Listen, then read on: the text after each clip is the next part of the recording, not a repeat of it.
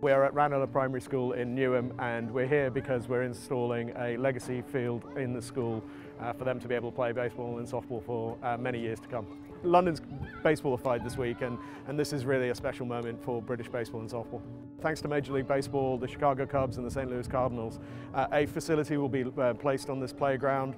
Uh, it's going to be designed as a, as a baseball field and also have um, a multi-use uh, across their whole school sports curriculum so kids are going to get an opportunity to, to really enjoy a, a, a renewed and refreshed facility that's, that's styled as a baseball diamond.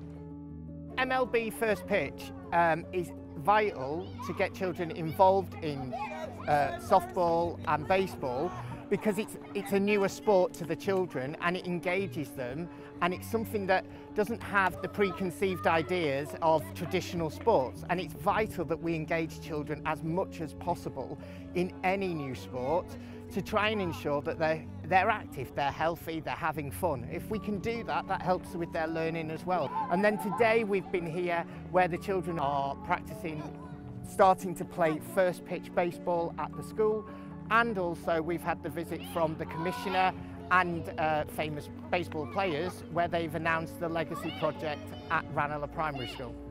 This is a beautiful game and kids love it. They love hitting a round ball with a round bat, running around a square in a circle and, and catching the ball sometimes with the wrong hand and, and a glove on it. So the, the, the, biggest gift we can give them is, is finding that love through these programs. And, and as you can see behind me, kids are, they, they, they love it. They love playing the sport and uh, they will continue to love it all the way through their lives. All of you are really, really important to the future of our sport.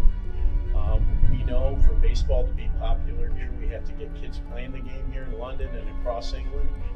Um, so in an effort to make that happen, Major League Baseball is uh, making a $25,000 donation to build a permanent uh, baseball diamond here so that you kids